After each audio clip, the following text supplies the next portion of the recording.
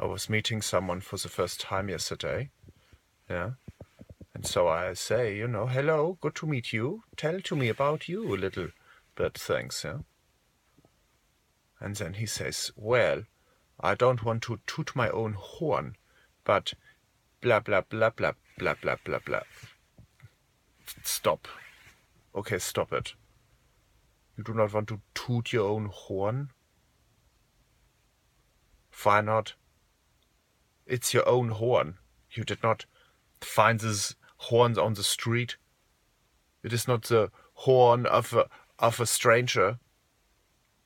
Why will you not toot it? You have you have tooted before the horn, I imagine. I will not toot it. It's your horn. It's your horn. I'm having a horn of me. My horn I shall toot all the day. It's a trombone. It sounds very nice. But also it is having spit spit bacteria bacteria of me in the horn. And this is okay, these germs, because they is my germs. But that's your germs are in your horn. And as they say, that's not my germs. So I will not horn toot you.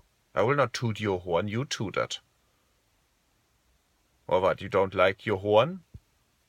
Well, then toot it and boot it. You know. Yeah.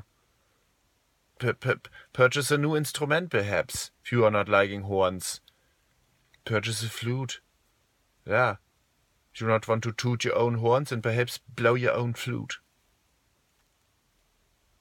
And if you do not like this, then uh, then flute it and boot it. I don't know. Just, just tell me who you is. Okay, put down the horns.